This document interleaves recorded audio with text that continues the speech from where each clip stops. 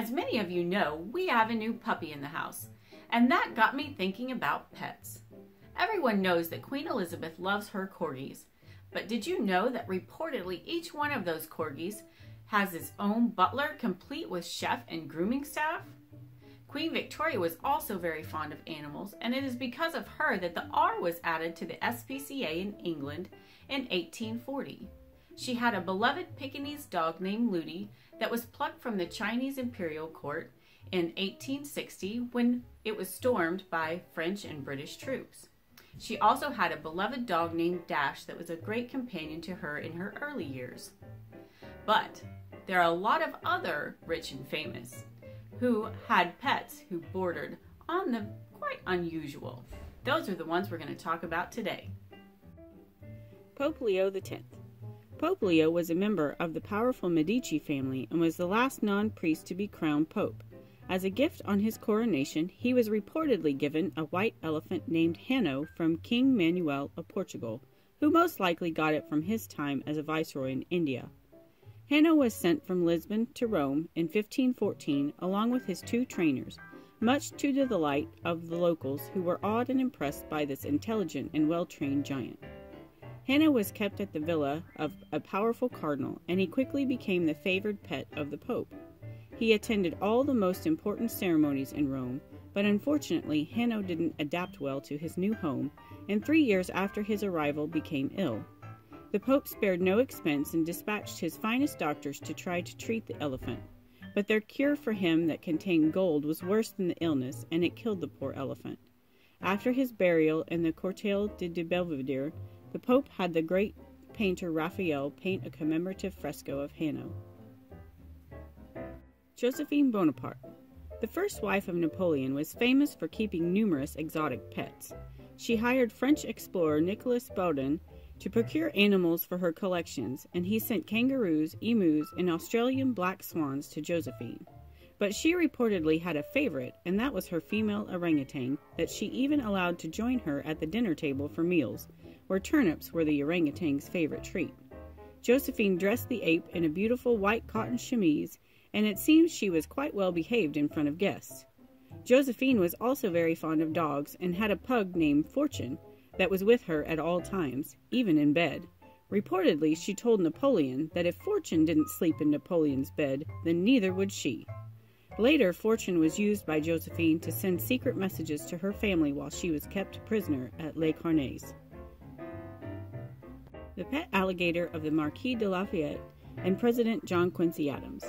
It is often told that President John Quincy Adams kept an alligator as a pet in the White House. And while this is somewhat true, the real story is that the gator belonged to the Marquis de Lafayette, who received it as a gift while touring the U.S. in 1825. When Lafayette visited the White House, he had the pet gator with him. President Adams gave the reptile a bathtub in the East Room as a temporary home and reportedly found it extremely amusing to surprise unsuspecting guests to the White House with the gator. But when Lafayette left, he took his pet gator with him. But this wasn't the only time the White House would be home to a gator.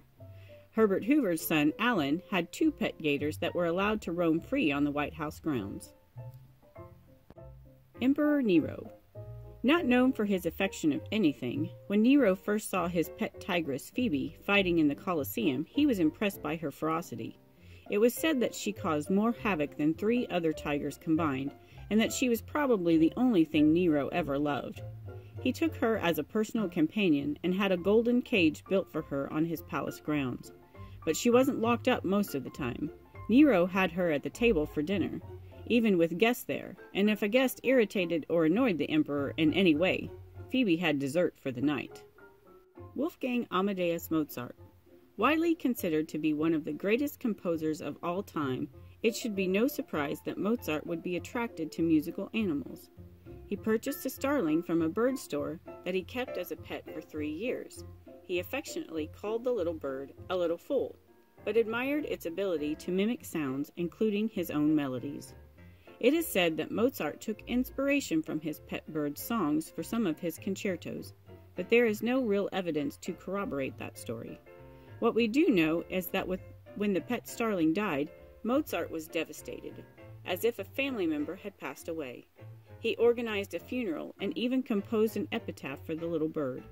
The epitaph said, Here lies a little fool, whom I held dear, a starling in the prime of his brief time, whose doom it was to drain death's bitter pain. Thinking of this, my heart is riven apart. President Andrew Jackson. Parrots are not really that unusual as pets, even by today's standards. Many people keep birds as companions. Old Hickory, as Jackson was known, bought Poll, the African gray parrot, for his wife Rachel. In his earlier years, when he was a war hero, it seems he had a great affinity for swear words that rubbed off on Poll. Later in his life, Jackson supposedly turned a new leaf, but at Jackson's funeral in Tennessee in 1845, thousands of people gathered to pay final tribute. Apparently overwhelmed by the number of people, the parrot began to blurt out such a string of curse words that the people were horrified as Reverend Norment, who was officiating the service, had the bird hastily carried away. He later said the bird was a wicked parrot that got excited and commenced swearing so long and so loud as to disturb all the people. What, what the parrot said, no one seems brave enough to recount, but whatever it was, it certainly was a story for the history books. Ranger and I hope that you have enjoyed these short stories about pets of historical figures. Join us next time for another great history tale on History Happens.